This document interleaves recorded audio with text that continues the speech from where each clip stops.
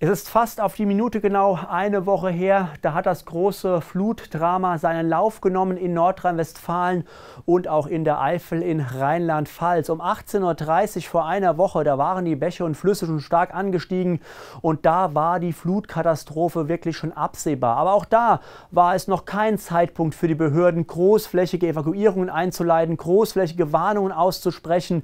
Da wurde erst gewarnt, mitten in der Nacht zum Donnerstag, als die Flutkatastrophe ihre ihren Höhepunkt erreicht hatte. Und da war es dann leider zu spät.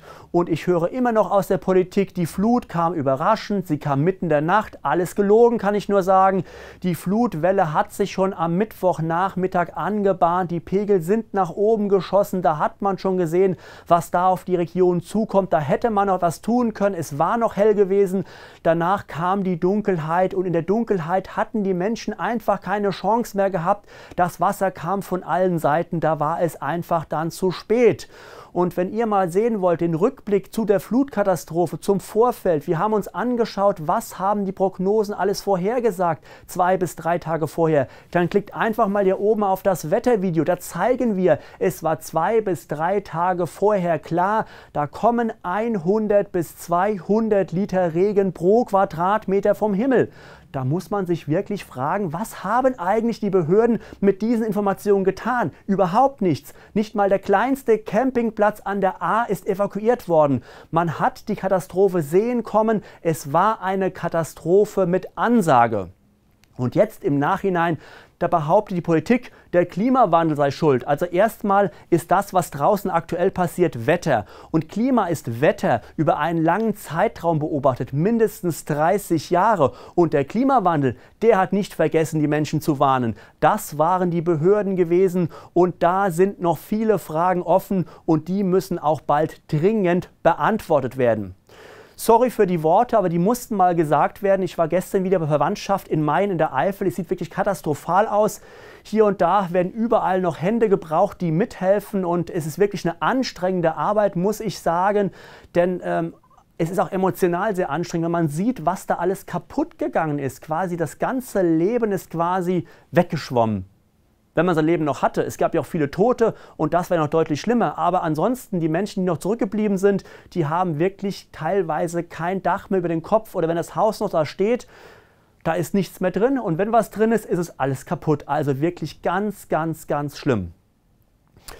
Ja, und mit diesen Worten herzlich willkommen zum Wetterkompakt hier bei wetter.net am heutigen Mittwoch. Wir wollen mal schauen, wie geht es in den nächsten Tagen weiter. Erstmal noch Entwarnung bis Freitag. Das Hoch Dana bleibt uns zum Glück treu. Es gibt viel Sonnenschein. Es ist trocken bei uns in Deutschland, aber zum Wochenende da kommen schon wieder neue Gewitter herangezogen, vor allem im Westen des Landes. Aber Entwarnung schon mal. Es gibt nichts Flächendeckendes, aber punktuell gibt es Starkregen. Und da sind auch mal wieder Regenmengen um die 20 bis 40 Liter Regen pro Quadratmeter durchaus möglich. Dazu gleich mehr. Wir schauen zunächst mal auf die Großwetterlagenkarte von heute und das Hoch Dana. Das bringt sonniges Wetter von den britischen Inseln bis nach Mitteleuropa. In der kommenden Nacht ziehen noch ein paar Wolkenfelder über den Norden und den Osten. Nach Süden ist es teilweise sternenklar. Insgesamt bleibt es weitgehend trocken. Kühl ist es auch in der kommenden Nacht. In den Mittelgebirgen gerade mal 9 bis 11 Grad. Sonst morgen früh die Temperaturen so um die 12 bis, naja, knapp 16 Grad. Der Donnerstag insgesamt noch relativ freundlich, viel Sonnenschein, nur im Norden, an der Nordseeküste und Ostseeküste stellenweise ein paar Wolkenfelder. Hier bleibt es am kühlsten mit 20 bis 22 Grad, sonst Temperaturen 25 bis 28 Grad. Der Freitag teilweise heiß bis zu 31 Grad.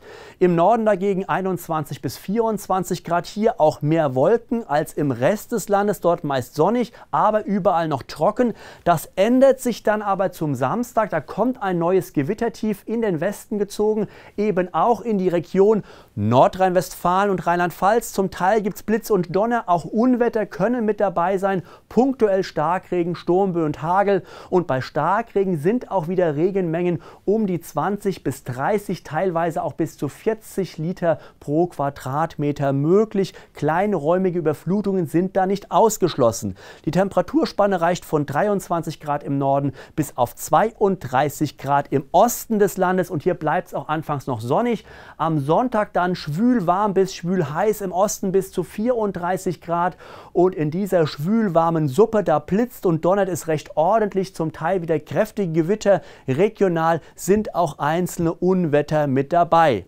Das Wochenende nehmen wir nochmal genauer unter die Lupe. Hier der Samstag. Samstag der Schwerpunkt hier nochmal im Westen von Nordrhein-Westfalen über Rheinland-Pfalz, Hessen bis runter nach Baden-Württemberg, teilweise auch im Saarland. Im Osten dagegen am Samstag noch recht ruhig, aber am Sonntag gibt es auch im Osten und im Norden dann später hier einzelne zum Teil kräftige Schauer und Gewitter und vor allen Dingen im Westen, da ziehen immer wieder Schauer und Gewitter voran, äh, vorüber hier aus Frankreich und Benelux und da müssen wir auch mit einzelnen Schauern und Gewittern rechnen. Aber nochmal die Info, nichts flächendeckendes wie am vergangenen Mittwoch und Donnerstag, also keine Panik. Es gibt zwar regionale Schauer und Gewitter, aber keine großflächige Katastrophe, die sich da andeutet. Da kann ich wirklich Entwarnung geben.